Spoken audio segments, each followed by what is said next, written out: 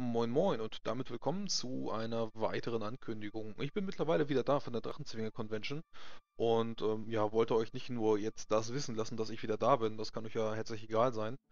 Ähm, nee, ich wollte euch eigentlich eine ganz andere Sache mitteilen, ähm, weil, ja, ihr habt das vielleicht schon mitbekommen, wenn ihr seit Anfang an dabei seid, dass mir mal der ein oder andere Spieler weggebrochen ist aus den ein oder anderen Gründen. Ob das dann äh, Charaktertod war oder äh, das Aufhören vom Spielen.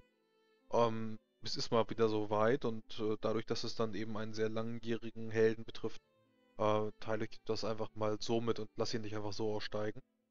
Ähm, Ragnar, also der gute Bartholomäus, wie er bei uns im Forum heißt, hat sich dazu entschieden, ähm, dass er Real Life ein halbes Jahr, so steht das zumindest gerade im Raum, ein halbes Jahr in Thailand verbringen wird, beziehungsweise irgendwo da im asiatischen Raum.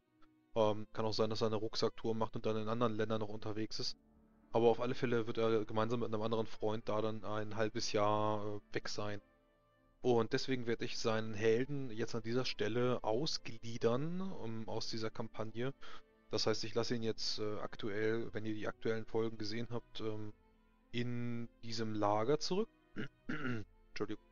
Äh, in diesem Lager lasse ich ihn zurück und da kann er dann auskurieren seine Krankheit und wenn Ragnar bzw. Bartholomäus als Spieler dann in einem halben Jahr wieder da ist äh, und er immer noch Lust hat, dann äh, werde ich ihn selbstverständlich wieder gerne integrieren in diese Runde. Also ich wollte jetzt seinen Charakter nicht äh, sinnlos töten.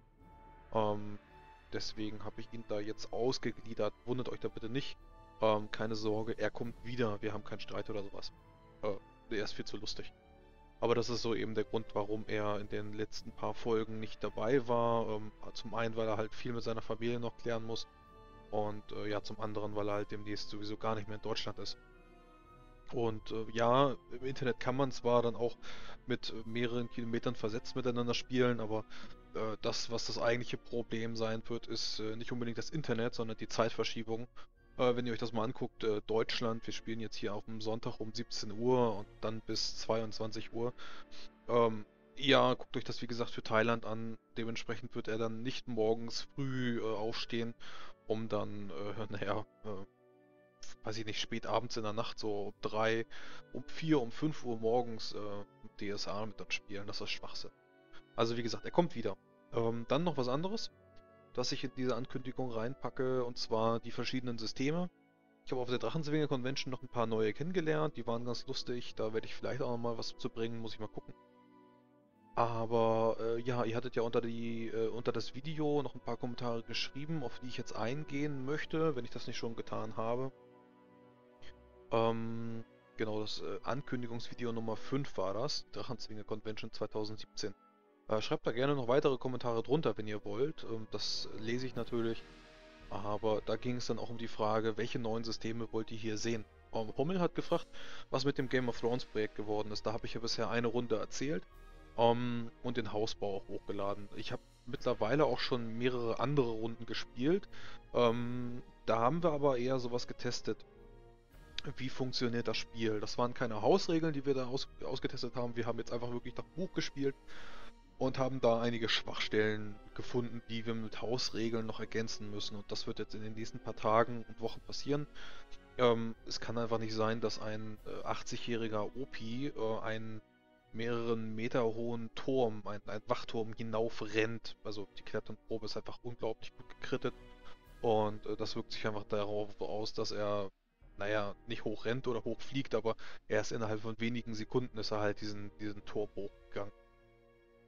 Oder dass der neunjährige Junge, ähm, der mit einem Dolch einen äh, Ritter abwirft, meinetwegen Jamie Lannister, wenn da so ein neunjähriger Bengel in der Gasse vor dir steht und der hat seine Dolchskill ein bisschen erhöht, dann kann der Jamie Lannister mit einem einzigen Wurf in seiner schwersten Ritterrüstung töten.